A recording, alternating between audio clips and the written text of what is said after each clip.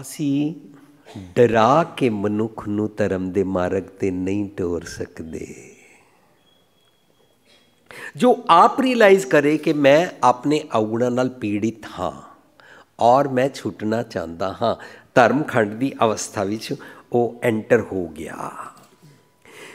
ਧਰਮਖੰਡ ਦੀ ਜਾਚਨਾ ਸਦਕੇ ਕੂੜ ਤੋਂ ਛੁੱਟਣ ਲਈ ਸਤਗੁਰ ਦੇ ਮਤ ਦੇ ਗਿਆਨ ਰਾਹੀਂ ਵਿਵੇਕ ਬੁੱਧ ਪ੍ਰਾਪਤ ਕਰਨ ਦੀ ਜਿਹੜੀ ਅਵਸਥਾ ਹੁੰਦੀ ਹੈ ਨਾ, ਕਿ ਮੇਰੇ ਭਾਂਡੇ ਵਿੱਚ ਆਪਣਾ ਤਤ ਗਿਆਨ ਪਾਓ। ਉਹ ਮੈਂ ਮੰਗਿਆ ਨਹੀਂ ਸੀ। ਮੈਂ ਆਪਣੇ ਸਰੀਰ ਦੀ 10 ਵਸਤੂਆਂ ਦੇ ਪਿੱਛੇ ਪਿਆ ਸੀ। 10 ਵਸਤੂ ਲੈ ਪਾਛੇ ਪਾਵੇ।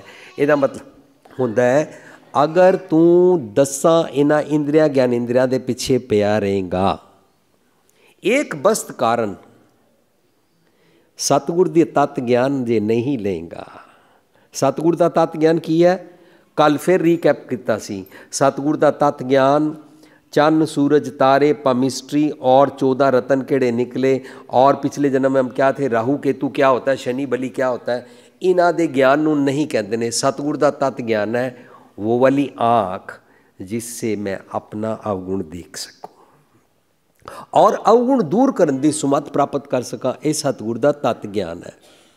ਸੋ 10 ਵਸਤੂ ਲੈ ਪਛ ਪਾਵੇ। ਇੱਕ ਬਸਤ ਕਾਰਨ ਸੱਚ ਨਹੀਂ ਲੈਂਦਾ ਨਾ, ਗਿਆਨ ਖੰਡ ਵਿੱਚ ਐਂਟਰ ਨਹੀਂ ਕਰਦਾ।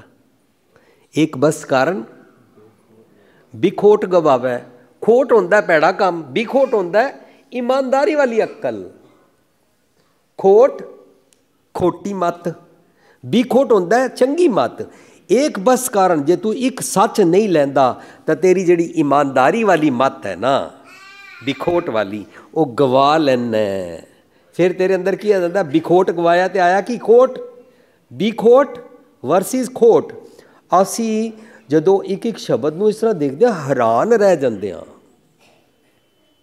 ਇੱਕ ਵੀ ਨਾ ਦੇ ਅਗਰ ਆਪਣੇ ਮਨ ਨੂੰ ਇਹ ਸੱਚ ਦੀ ਮਤ ਤੂੰ ਨਹੀਂ ਦੇਂਗਾ ਤਤ ਗਿਆਨ ਨਹੀਂ ਦੇਂਗਾ ਰੱਬ ਜੀ ਤੋਂ ਬੋਰੋ ਕਰਕੇ ਆਪਣੀ ਮਤ ਨੂੰ ਨਹੀਂ ਇਸ ਤਰ੍ਹਾਂ ਕਰੇਗਾ 10 भी हिरले फिर तो ये दस इंद्रे ज्ञान इंद्रे तेरे को हिर हिलेंगे ही ये तेरे को पुट्ठे रास्ते पाएंगे ही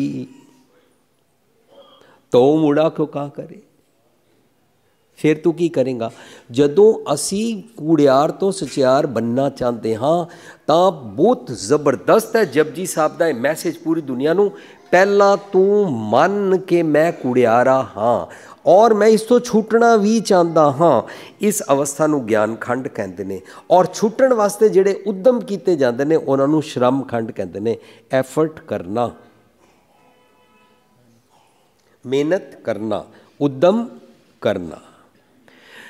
ਧਰਮਖੰਡ, ਗਿਆਨਖੰਡ, ਸ਼ਰਮਖੰਡ ਸ਼ਰਮਖੰਡ ਤੋਂ ਬਾਅਦ ਆਉਂਦਾ ਕਰਮਖੰਡ। ਕਰਮਖੰਡ ਹੁੰਦਾ ਹੈ ਸਤਗੁਰ ਦੀ ਮਤ ਦੀ ਜਿਹੜੀ ਫਿਲਾਸਫੀ ਹੈ ਉਸ ਨੂੰ ਸਮਝ ਸਮਝ ਕੇ ਮਨ ਦੀਆਂ ਅੱਖਾਂ ਦੇ ਨਾਲ, ਮਨ ਦੀਆਂ ਅੱਖਾਂ ਦੇ ਨਾਲ ਦੇਖ ਕੇ, ਮਨ ਦੀਆਂ ਅੱਖਾਂ ਦੇ ਨਾਲ ਪੜ੍ਹ ਕੇ, ਮਨ ਦੇ ਕੰਨਾਂ ਨਾਲ ਸੁਣ ਕੇ, ਮਨ ਦੇ ਜਿਹੜਾ ਦੁਰਲਭ ਦੇ ਬਣਾਣੀ ਆ, ਉਹ ਵਾਲੀ ਜੀਵਨ ਜਾਤ ਸਿੱਖਣੀ ਕਰਮਖੰਡ ਦੇ ਅੰਦਰ ਐਂਟਰ ਕਰਦੇ ਆ ਔਰ ਜਦੋਂ ਉਸ ਤੋਂ ਬਾਅਦ ਹੰਕਾਰ ਬਿਲਕੁਲ ਨਹੀਂ ਕਰਦੇ ਆ ਦਿਖਾਵਾ ਬਿਲਕੁਲ ਨਹੀਂ ਕਰਦੇ ਆ ਪੂਰੀ ਨਮਰਤਾ ਵਿੱਚ ਰਹਿੰਦੇ ਆ ਤੇ ਸੱਚਖੰਡ ਅੰਦਰ ਐਂਟਰ ਕਰ ਜਾਂਦੇ ਆ ਔਰ ਜਿਉਂ ਹੀ ਸੱਚਖੰਡ ਅੰਦਰ ਅੰਦਰ ਐਂਟਰ ਕਰਦੇ ਆ ਪਤਾ ਕੀ ਹੁੰਦਾ ਹੈ? ਸੱਚਖੰਡ ਵਸੇ ਨਿਰੰਕਾਰ।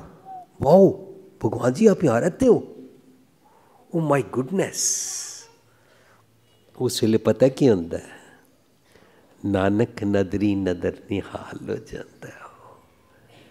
ਨਿਹਾਲ ਦਾ ਮਤਲਬ ਹੁੰਦਾ ਹੈ, ਜੋ ਮੈਨੇ ਮੰਗਾ ਥਾ, ਸਰ ਉਹ ਮਿਲ ਗਿਆ and I fully ਕੰਟੈਂਟਡ fully satisfied ਮੈਂ ਨਿਹਾਲ ਹੋ ਗਿਆ, ਜੋ ਮੰਗਣ ਆਇਆ ਸੀ, ਮੰਗ ਪੂਰੀ ਹੋ ਗਈ ਹੈ।